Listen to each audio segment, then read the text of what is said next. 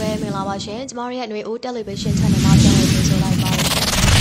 ။ဒါနဲ့နိုင်ငံရေးသတင်းဆောင်ပါတွေကိုနေ့စဉ်တင်ဆက်ပေးနေတာဖြစ်လို့ပရိသတ်တွေကကျမတို့ channel လေးကို subscribe လုပ်ထားပေးပြီးဘီနာက notification လေးကိုလည်းနှိပ်ပေးခဲ့ပါအောင်ရှင်။ဒါဆိုရင်တော့ဒီကနေ့တင်ဆက်ပေးမယ့်သတင်းအကြောင်းအရာလေးတွေကိုစတင်လိုက်ရအောင်ပါ။ပထမဦးဆုံးသတင်းတစ်ပုဒ်အနေနဲ့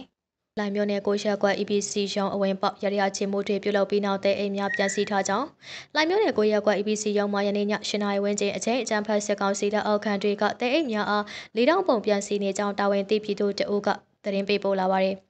တဲ့အိတ်တွေမစီခင်9နိုင်ဝန်းကျင်အချိန်ကစစ်ခွဲ DC နှစ်စီရဲခွဲ DC တစီတို့နဲ့ EPC ရုံးကောင်းရင်ဘတ်အချမ်းဗန်တာပင်အောက်အပြာစားတစ်ခုခင်ပြီးအစီမံတွေလောက်ရရချင်းနေကြတာတွေ့ရတယ်လို့ပြောပြလာပါတယ်ရှင်။နောက်ထပ်သတင်းတစ်ပုဒ်အနေနဲ့ ညောင်ဦးမှာ NLD ပါတီဝင်မျိုးသား၃ဦးကိုစစ်တပ်ကဖမ်းဆီးတပ်ဖြတ်ပြီးမတ်တော်မီကိုမူမရင်ကျတပ်ဖြတ်တောင်တကုံမှာပြည်သူ2ဦးကိုမိုက်ကယ်ကျော်မြင့်တီဟာမျိုးနိုင်တို့ဦးဆောင်တဲ့ပြူစောတိအဖွဲ့တပ်ဖြတ်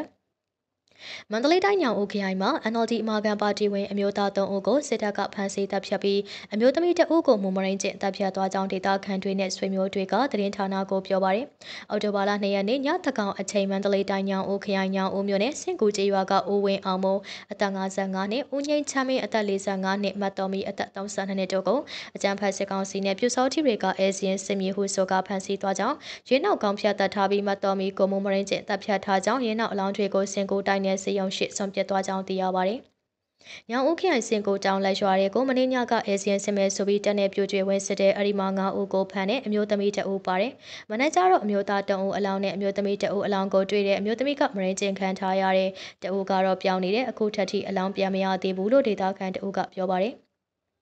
ထို့အပြင်မန္တလေးတိုင်းညောင်ဦးခရိုင်ငတရောက်မြို့နယ်ခွဲဆရွာက NLD ပါတီဝင်ဦးကျော်ဝင်းအသက်68နှစ်ကိုယနေ့အောက်တိုဘာ3ရက်နေ့မနက်2နာရီအချိန်စစ်ကားနှစ်စီးလာရောက်ဖမ်းဆီးကြောင်းရင်းနောက်ဦးကျော်ဝင်းနဲ့တမီကိုဖမ်းဆီးသွားပြီးဦးကျော်ဝင်းကိုလည်းပင်ကိုထားဖြစ်လိပြီးစစ်တပ်ကတပ်ဖြတ်သွားကြောင်းတမီဖြစ်သူမှပြန်လည်လွတ်မြောက်လာကြောင်းသိရပါတယ်။ယနေ့မနက်2နာရီလောက်မှာစစ်ခွေးကားနှစ်စီးရောက်ရှိလာပြီးဦးကျော်ဝင်းအင်တဲ့အတင်းဖြတ်ဝင်ပြီးတမီနဲ့အဖေကိုတနက်ထောက်ဖန်နဲ့ရွာအနောက်ဘက်6တဲခေါ်ပြီးဓာတ်နဲ့အချက်ပေါင်းများစွာထိုးပြီးဦးကျော်ဝင်းကိုတတ်ခဲ့တာမနက်သွားကြည့်တော့အလောင်းကအရာစရာမရှိဘူးကြီးလို့လည်းမရတော့ဘူးအဲ့ဒီဦးလေးကနေမကောင်းဖြစ်နေတာကြပြီးနေမကောင်းလို့လည်းပါတီဝင်ကနှုတ်ထွက်ထားတာကြပြီးဒါကိုဘာအညိုးနဲ့တက်လိုက်တာလဲကျွန်တော်နားမလဲဘူးမိသားစုတွေလည်းအခုကြောက်လန့်နေတဲ့တမီကိုတော့တမသွားဘူးဒီတိုင်းထားခဲ့တယ်လို့ဒေတာခန်တူပြောပါတယ် အလားတူရန်ကုန်တိုင်းတောင်တကုံ53ရပ်ကွက်မှာစက်တင်ဘာ29ရက်နေ့ညနေ6နာရီခွဲအချိန်ကျောင်းသားကောင်းဆောင်တဦးရဲ့မိဘတွေဖြစ်တဲ့ဦးစမ်းမင်းနဲ့ဒေါ်တတီဆိုးတို့ကိုမိုက်ကယ်ကျော်မြင့်တီဟာမျိုးနိုင်တို့ဦးဆောင်တဲ့မဘာသာသွေးသားအဖွဲ့ကတပ်ဖြတ်လိုက်ကြောင်းဒေတာခန်များထံကသိရပါဗျ။ကျောင်းသားတဦးရဲ့မိဘနှစ်ပါးကိုတီဟာမျိုးနိုင်ခေါ်နိုင်တကုံတို့အဖွဲ့ကတပ်လိုက်တဲ့ဒါကိုမိုက်ကယ်ကျော်မြင့်က Facebook မှာစုချီမြင်တယ်ဆိုပြီးရေးထားတယ်။ တီဟမျိုးနိုင်ခေါ်နိုင်တကွန်ဟာအမျိုးသားရေးအစွန်းရောက်လောကမှာတာမန်အခြေအနေနဲ့တာမန်အစင်သားရှိခဲ့သူပါမင်းအောင်လှိုင်အာနာသိမ့်ပြီးနောက်မိုက်ကယ်ကျော်မြင့်ရဲ့အကန့်နဲ့တောင်တကုံ53ရောက်ကမှအုပ်ချုပ်ရေးမှုဖြစ်ခဲ့ပါတယ်အုပ်ချုပ်ရေးမှုဖြစ်လာတာနဲ့တီဟာမျိုးနိုင်ခေါ်နိုင်တကုံဟာတောင်တကုံအပိုင်းမှာခိုးဆိုလူနိုင်တွေကိုလက်တမွေးသူ့နာခေါ်ထားပြီးအကာအကွယ်ယူတယ်လို့မဘာတာဖုန်ကြီးတို့သူစီတာရဲ့အကန့်နဲ့စာရဖာတန်းစင်ကျော်ဓမ္မတက်စစ်တနက်ကိုင်ခွင့်ရခဲ့တဲ့အထိဖြစ်ခဲ့ပါတယ်။ တီဟမျိုးနိုင်ခေါ်နိုင်တကွန်ဟာအခုနောက်ပိုင်းမှာတောင်တကုံ53ရပ်ကွက်အတွင်းအဲစင်းစစ်ဆေးခြင်းရပ်ကွက်တွင်သူနှင့်မတည့်သူများကို NUG CRPH နှင့် PDF တွေကိုထောက်ခံတော်ဆိုပြီးစစ်တပ်ထံလက်ထောက်ချခြင်းဖမ်းဆီးငွေညစ်ပြန်လွှတ်ပေးခြင်းတွေပြုလုပ်ခဲ့ပါတယ်။လွန်ခဲ့တဲ့ရက်ကျောင်းသားသမဂ္ဂကလူငယ်လေးရဲ့မိဘနှစ်ပါးကိုတပ်ဖြတ်မှုမှာမိုက်ကယ်ကျော်မြင့်ရဲ့ခိုင်းစိတ်ချက်နဲ့တီဟာမျိုးနိုင်ခေါ်နိုင်တကွန်ကသူလက်ပါစေခိုးဆိုလူနိုင်ပြူစော်တီတွေနဲ့ပူပေါင်းတပ်ဖြတ်ခြင်းဖြစ်ကြောင်းသူတို့ကိုယ်တိုင်လည်းအာရဝန်သားစွာမဘာတာအတိုင်းဝိုင်းကြောင်းဝင်ကြွပြောဆိုနေတယ်လို့အမျိုးသားရေးနဲ့မဘာတာအစွမ်းရောက်တမားတွေအကြောင်းသေးချစွာသိရှိသူကိုဟင်ဝေရန်ကပြောပါရယ်နောက်ထပ်သတင်းပုံအနေနဲ့စကိုင်းတိုင်းစာလင်းကြီးမြို့နယ်ညောင်ပင်ကြီးမနက်ခင်းစီဝဲထွက်တဲ့ရဲလေးရောက်မြို့ပြယူကြီးတွေဝင်လုံးပြီးတေဆုံးကားတနက်များပါသွားစကိုင်းတိုင်းစာလင်းကြီးမြို့နယ်ညောင်ပင်ကြီးမနက်ခင်းစီဝဲထွက်တဲ့ရဲလေးရောက်မြို့ပြယူကြီးတွေဝင်လုံးရွှေတေဆုံးကားတနက်တွေပါသွားကြောင်းသတင်းရရှိပါရယ်အော်တိုဘာ3ရက်နေ့မနက်ပိုင်းစကိုင်းတိုင်းစာလင်းကြီးမြို့နယ်ညောင်ပင်ကြီးမနက်ခင်းစီဝဲထွက်တဲ့ရဲလေးရောက်ကိုယူကြီးတွေတိုက်ခိုက်ခဲ့တယ်လို့ချင်းတွင်းရှိုးမှမဟာမိတ်တပ်ပေါင်းစုအတည်ပြုပါရယ် အော်တိုဘာ3ရက်နေ့မနက်ပိုင်းစကိုင်းတိုင်းစာလင်းကြီးမြို့နယ်ညောင်ပင်ကြီးမနက်ခင်းစီရဲလေးရောက်တနက်လွယ်ပြီးဈေးဝယ်ထွက်ခဲ့ရစေတဲ့အရောက်ပြည်သူအချစ်တော်ယူကြီးတွေကအလေးဝင်တိုက်ခိုက်ရာရဲရီလုံးဝပြင်ဆင်ချိန်မရလိုက်ပဲကြာဆုံးသွားတဲ့ပျောက်ကြားယူကြီးတွေမှာ G3 တနက်လေးလက်ကိုတတရရကောက်ယူသွားတာတွေ့ရတယ်လို့ဆိုပါတယ်လက်ရှိမှာစကိုင်းတိုင်းစာလင်းကြီးယူကြီးတို့ရဲ့လက်ဆွမ်းပြချက်ကြောင့်စစ်သားတွေရဲသားတွေလက်ဖေးဆိုင်မထိုင်ရဲစေးတဲ့ဈေးသွားမဝယ်ရဲတဲ့အဖြစ်မျိုးရှောင်နေကြောင်းပြည်ထရေးနဲ့ကာကွယ်ရေးရုံးတွေကိုတိုင်ကြားစာရောက်လာကြောင်းလဲဆိုပါရရှင်။ နောက်ထပ်သတင်းတစ်ပုဒ်အနေနဲ့ငန်းစော်နယ်ကစစ်ကောင်စီခန့်အုပ်ကြီးကျန်းဖို့အခထာဟောင်းကိုပြောက်ကြားတပ်ဖွဲ့ရှင်လင်းမန္တလေးတိုင်းငန်းစော်မြို့နယ်ညောင်ပင်ရိုးရွာကစစ်ကောင်စီခန့်ကျေးရွာအုပ်ချုပ်ရေးမှူးကျန်းခရီပါတီအခထာဟောင်းလှမြေဆိုသူကုမ္ပဏီကပြောက်ကြားတပ်ဖွဲ့လေးဖွဲ့ပေါင်းပြီးတုတ်တင်ရှင်လင်းခဲ့တယ်လို့ညောင်ရိုးအထူးပြောက်ကြားတပ်ဖွဲ့ကသတင်းထုတ်ပြန်ပါတယ်။အောက်တိုဘာ2ရက်မနက်10:00နာရီကျော်ကငန်းစော်မြို့နယ်ညောင်ပင်ရိုးရွာကစာကားစာအုပ်ကြီးကိုညောင်ရိုးအထူးပြောက်ကြားတပ်ဖွဲ့မန်ဆွဲကြားပြောက်ကြားတပ်ဖွဲ့မိနက NZN Revolution Force နဲ့ One ပြောက်ကြားတပ်ဖွဲ့တို့ပူးပေါင်းရှင်လင်းခဲ့တာလို့ဆိုပါတယ်။ စေအုပ်စုနဲ့ပေါင်းပြီးပြည်သူအကျိုးစီးပွားထိခိုက်နှောက်ယှက်နေတဲ့သတင်းပေးတွေကိုဆက်လက်ရှင်းလင်းသွားမယ်လို့ဆိုပါရတဲ့တေဆုံသူလှမြင့်ဟာစိုက်ကယ်နဲ့ရွာကိုပြန်လာစဉ်ရွာအနီးအမျိုးသားနှစ်ဦးကစိုက်ကယ်နဲ့နောက်ကလိုက်လာပြီးပစ္စတိုနဲ့တစ်ချက်ပစ်ခတ်ခဲ့တဲ့အတွက်နောက်ဆက်ကြည့်ဖဝင်တရားတစ်ချက်နဲ့ပွဲချင်းပြီးတေဆုံသွားတာလို့စေအုပ်စုဘက်ကသတင်းပြန်ပါတယ်။ငန်းစုံအပါဝဲမြင်းချန်တောင်တာနေတဲ့စေအုပ်စုနဲ့ပြူတဲ့ကြီးစိုးတောင်းရနေပြီးဒေတာခံပြည်သူတွေကိုဥပဒေမဲ့ထင်နိုင်ကျဖန်ဆီးတပ်ဖြတ်နေတယ်လို့ဒေတာကောက်ွယ်ရေးတပ်ဖွဲ့တွေကစေအုပ်စုနဲ့နေဆက်သူတွေကိုပြစ်မှတ်ထားတိုက်ခိုက်နေတာပဲဖြစ်ပါတယ်။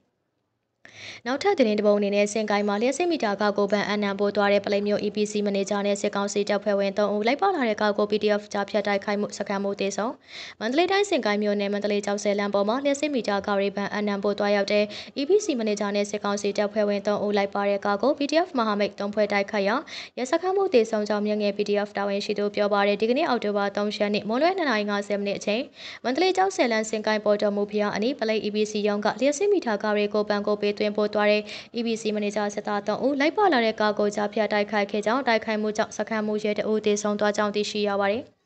တိုက်ခိုက်မှုမှာအမြန်ပြန်လည်ဆုတ်ခွာရလို့မီတာကငွေတွေနဲ့လက်နက်တွေကိုတင်စီနိုင်ခြင်းမရှိခဲ့ကြောင်းပလိ EBC ရုံးဟာပြည်သူလူထုကိုမီတာမဆောင်ပါကမီတာပေါက်တွေဖြုံမဲ့လို့ချင်းချောက်ပြီးချွေးနေစာကိုအတင်းအကျပ်ကောက်ခံကြောင်းပြည်သူရဲ့ငွေကြေးတွေကိုစစ်အုံစစ်မဖြစ်စေဖို့တိုက်ခိုက်ခြင်းဖြစ်ကြောင်းသိရပါတယ်။ကျွန်တော်တို့တိုက်ခိုက်မှုကြောင့်ရဲခွေတွေစီလာတဲ့အင်စီကပျက်စီးသွားတဲ့စခန်းမှုကတော့သိပါတယ်။ရဲခွေတအုပ်လည်းလက်တစ်ဖက်ထိခိုက်ပြီး EBC မန်နေဂျာလည်းဆိုရင်ရတယ်လို့သတင်းရရှိတယ်။ တေဆုံးသူအနေနဲ့ပြောမယ်ဆိုရင်နေရာမှာပွဲချင်းပြီးဆာရစခန်းမှုတယောက်ပဲရှိတဲ့ဒီနေ့ဟာကျွန်တော်တို့ MNPDF ရဲ့အတွက်ဖက်ကောင်းဆောင်ဗိုလ်ကျုံထန်တဲ့ရေပေါ်ညီကိုလေးဦးကြဆုံးတဲ့ငါးလပြည့်နေ့ဖြစ်တယ်လို့မြငယ် PDF ရဲ့တာဝန်ရှိသူတို့ရဲ့ပြောဆိုချက်အရသိရှိရပါတယ်ရှင်။နောက်ထပ်သတင်းတပုတ်အနေနဲ့ အန်ယူဂျီလက်အောက်ရှိဒေါ်လာရင်အဖွဲ့ရဲ့စစ်ဘက်ဆိုင်ရာပြည်မှုတွေစီရင်ရန်စစ်တရားရုံးများစတင်ပြီးအမျိုးသားညီညွတ်ရေးအစိုးရအန်ယူဂျီကကွယ်ရှိဝင်ကြီးဌာနအမိုတီလက်အောက်ရှိဒေါ်လာရင်အဖွဲ့ရဲ့စစ်ဘက်ဆိုင်ရာပြည်မှုတွေကိုအရေးယူမှုပြုလုပ်နိုင်ရန်အတွက်စစ်တရားရုံးကိုမကြခင်မှာစတင်လက်ပတ်နိုင်တော့မှာဖြစ်ကြောင်းအန်ယူဂျီတရားရေးဝင်ကြီးဌာနထံကသိရပါတဲ့ကကွယ်ရေးဝင်ကြီးဌာနကဖွဲ့စည်းပြီးဥပဒေပညာရှင်တွေပါဝင်တဲ့စစ်တရားရုံးကိုယခုအောက်တိုဘာလမှာစတင်နိုင်ဖွဲ့ရှိကြောင်းတရားရေးဝင်ကြီးဌာနရဲ့အမြဲတမ်းအတွင်းဝင်ဦးမင်းအောင်ခိုင်ထံကသိရပါတဲ့တမတော်တစ်ခုဖြစ်လာပြီးဆိုရင်စီကတေဝေမှုကိုအရန်အရေးကြီးတဲ့အမိန့်နာခံဖို့ကအလွန်အရေးကြီးတဲ့ဒါမျိုးတွေရှိဖို့ကဥပဒေပြဋ္ဌာန်းပြီးစနစ်တကျလုပ်ရမှာလလောဆယ်မှာစစ်တရားရုံးတင်ဖွဲ့စည်းပြီးတော့စစ်ဘက်ဆိုင်ရာပြည်မှုတွေကိုစီရင်ဖို့ဖြစ်ပါတယ်။ NUG ရဲ့တရားဝင် MOD အောက်မှာရှိတဲ့တရားဝင်တပ်တွေအားလုံးတရားဝင်တပ်တွေအားလုံးကိုတရားစီရင်ဖို့စစ်ဘက်တရားစီရင်တဲ့စနစ်နဲ့တရားစီရင်ဖို့ဒီလထဲမှာစပါလိမ့်မယ်လို့အမြဲတမ်းအတွင်ဝင်ဦးမင်းအောင်ခိုင်ကပြောပါတယ်။တပ်တွေရဲ့စစ်ကမ်းတေဝဲမှုအမိန့်နာခံမှုနဲ့စစ်ဘက်ဆိုင်ရာအမှုခင်တွေနဲ့ပတ်သက်တဲ့တရားစီရင်မှုဆောင်ရွက်သွားမှာဖြစ်ပြီးလက်ရှိအချိန်မှာဥပဒေများလည်းရေးဆွဲလျက်ရှိကြောင်းသိရှိရပါတယ်။ ထို့ပြင် NUG တရားရေးဝန်ကြီးဌာနသည်စကိုင်းနဲ့ မကွေးမှ ပြည်သူတွေကြားက အမှုခင်တွေအတွက် တရားစီရင်ရေး စတင်ဆောင်ရွက်နေပြီး အရေးယူခံရတဲ့ တရားခံတွေကို ဖမ်းဆီးချုံနှောင်းရန်အတွက် အကျဉ်းတောင်များလည်းတိစောက်ထားပြီး မကြမီ တွင်မြင်ရမှာဖြစ်ကြောင်းလည်း သိရှိရပါတယ်။စကိုင်း မကွေးဘက်မှတရားစီရင်ရေး စနေပါပြီ။လလောဆယ်မှာ ပြည်သူကနေ ပြည်သူကို တရားစီရင်တဲ့ စနစ်ပဲပေါ့။ကျေးရွာမှာရှိတဲ့ကုန်တရရှိ လူကြီးတို့ကောင်းတွေကို ရွေးချယ်ပြီး တရားစီရင်ကြတဲ့ဖြစ်နိုင်သမျှတော့ ဥပဒေပညာရှင်တွေ ပါဝင်တယ်လို့ ဦးမင်းအောင်ခိုင်က ဆိုပါတယ်။လက်နက်ကင်တော်လိုင်းတနေ့ကျော်လာချိန်မှာကျော်လိုင်းနယ်မြေတွေအတွင်း မှာရှင်တပ်ဖြတ်မှုတွေနဲ့ အခြားပြဿနာကြုံတွေ့နေရပါတဲ့အထူးသဖြင့်ဗိုလ်တမဏိဖြစ်စဉ်နဲ့စောမြို့နယ်အတွင်းမိသားစုလိုက်အသက်ခံရမှုဖြစ်စဉ်တို့သည်ထင်ရှားတဲ့ပြဿနာတွေပဲဖြစ်ပါတယ်။ဟုတ်ကဲ့ပါဒီနေ့ပရိသတ်တွေကိုတင်ဆက်ပေးခဲ့တဲ့တဲ့တင်အကြောင်းအရာကတော့ဒီလောက်ပါပဲနောက်ထပ်လည်းတင်ဆက်ပေးဖို့ရှိလို့ပရိသတ်တွေကကျမတို့ channel လေးကိုစောင့်မျှော်ကြည့်ရှုအားပေးနိုင်ပါတယ်ရှင်ကြည့်ရှုအားပေးကြတဲ့ပရိသတ်များအားလုံးကိုကျေးဇူးအထူးတင်ရှိပါတယ်ရှင်ရွှေလန်းချမ်းမြေ့ကြပါစေ။